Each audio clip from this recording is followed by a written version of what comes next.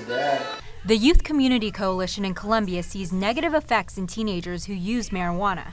And if it becomes legal, it, they're going to see it as less risky. They're more likely to get into it.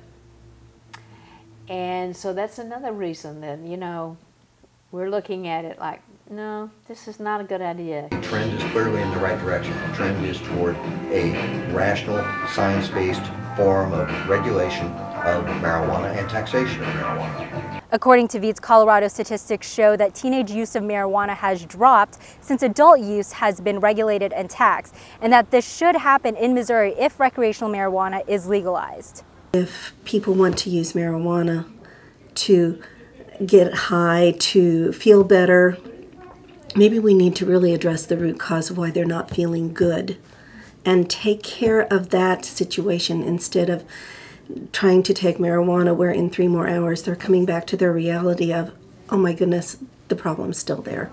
Viets says if community leaders educate people about the real health hazards of marijuana, people can make an informed decision whether or not to use it. Rona Navales, KOMU 8 News, Columbia.